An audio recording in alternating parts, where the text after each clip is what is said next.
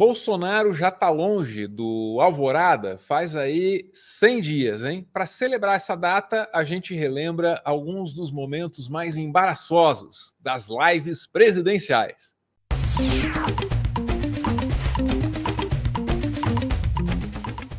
Aê, Ana, vamos de top 5. Os momentos mais terríveis das lives do Bolsonaro ao longo do mandato dele. Tem coisa do Arco da Velha, duvido que a galera lembre de tudo. Vou começar com o mais recente, tá? Até chegar no primeiro, que é, como diriam os franceses, hors concours. Vamos começar aqui pelo mais básico, que é o Bolsonaro chorando que perdeu a eleição. Tem muito Bolsonaro chorando. Eu só escolhi um. É esse. Para mim é o melhor, né? Desculpa. Dei a minha vida por essa pátria. Fiz tudo pelo Brasil.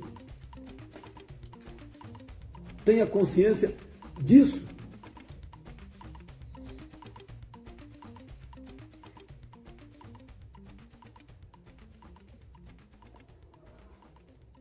O Brasil não vai se acabar de abrir. Pode ter certeza disso. Hoje, temos uma massa de pessoas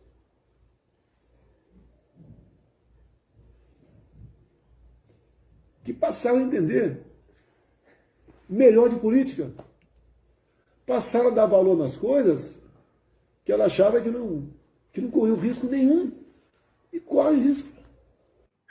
Tá aí, Ana. Bolsonaro, ao perder a eleição, é o quinto momento mais interessante das lives presidenciais, de acordo com o canal Meteoro Brasil, pertencente à esquerdalha brasileira.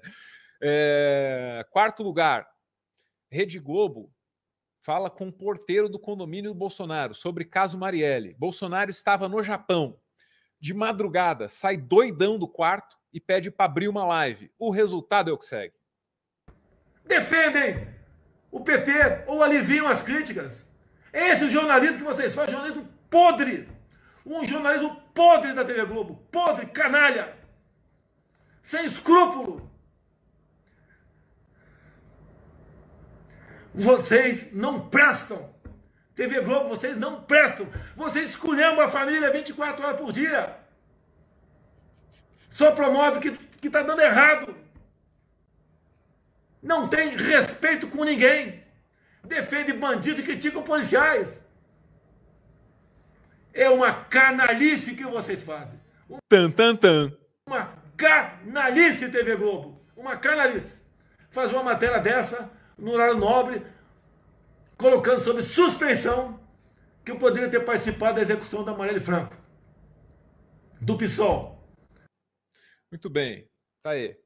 Terceiro lugar, Michele Bolsonaro aparece na live num momento em que a imprensa brasileira começava a trazer informações a respeito de atritos entre o presidente e a primeira-dama.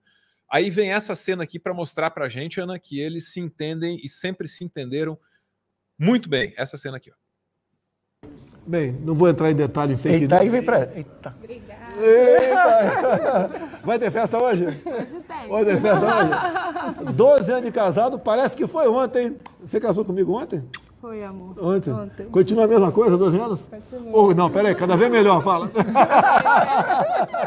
Obrigada, tá? Obrigado aí. Dá um beijo. Te amo. Tchau. A família não tem preço, realmente, né? Uma família bem estruturada, você consegue render. É o alicerce. a vida da gente que eu levo, estou reclamando não, que sabia que ia ser difícil. A barra é pesadíssima. A barra é pesadíssima. Bom, depois disso, mesmo depois dessa demonstração pública de afeto, para falar o dialeto do falecido Orkut, para usar as palavras do falecido Orkut, mesmo depois disso, apareceu um deputado que era aliado dele, né, o Julian, para dizer que a Michelle apanhou dele. Mesmo depois dessa cena aí, não resolveu, a fofoca continuou. É, segundo lugar, ao lado de uma criança, Bolsonaro faz piadas de duplo sentido. Eu gosto de homem. Quem não gosta de mulher, gosta de homem, é isso? Ah, mas é feio isso aí. Eu não gosto. Ó, tem que ser certinho, gente, pra vocês terem um futuro bem legal lá na frente. Eu, por exemplo, eu comecei cedo. Meus pais que, também. Começou cedo? Por quê? O que, que é? Eu e meus pais. Começou cedo. cedo? Como assim? Começou eu comecei com seis anos. Ah, começou, começou. Não, seis eu comecei a minha carreira de repórter com Ah. 6 anos. E meus pais, com 13 anos, eles começaram a trabalhar. Teve um. Eu vi uma história aí.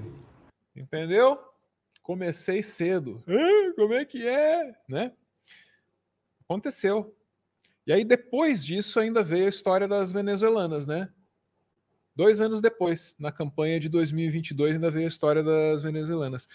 Aí, Ana, chegou a hora aqui do nosso primeiro colocado. E não tem jeito. Eu sei que eu já mostrei muitas vezes esse trecho, mas não, não tem jeito. Momento icônico das lives do Bolsonaro. Ele não sabia que estava no ar. E ele fala sobre como políticos costumam guardar dinheiro em caixas de sapato. Isso aconteceu. para 10 mil pedágio e moto não paga mais. Por que, que gente consegue fazer? No passado, o cara que fazia o contrato levava uma caixa de dinheiro embora, metia a caneta do contrato, não passa para 20 o pedágio. Assim que funcionava. Ou não era assim? Era.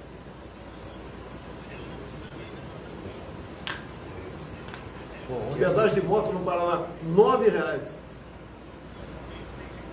Agora, o que eu apanho vai? por causa disso? Pra mim é fácil. Manda um sapato número 43 pra mim, meu número aqui, tá? Um beijo. Não, tem problema. Tinha um sapato no 43 cheio de notinha de 100 verdinha dentro. Vai descobrir que está ao vivo já já. Você acha que vale a vaga pro... Presta atenção, pessoal. Quanto acha que vale a vaga pro Supremo? Tá? Tá, tá aqui lá. Pô, Então é...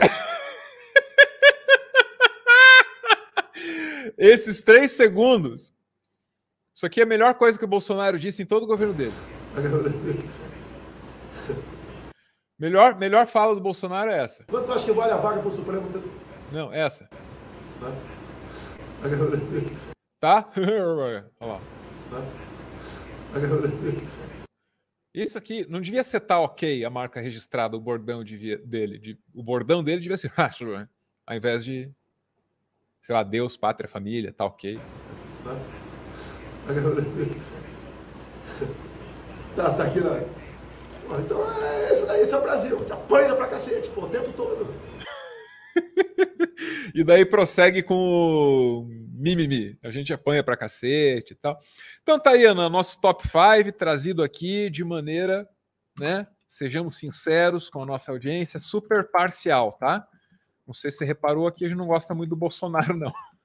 Ana, Mas tá vocês não são imparciais? Não existe tal coisa. Não. É... Puxa, obrigada, Álvaro, por me relembrar de todos estes traumas dos últimos quatro anos.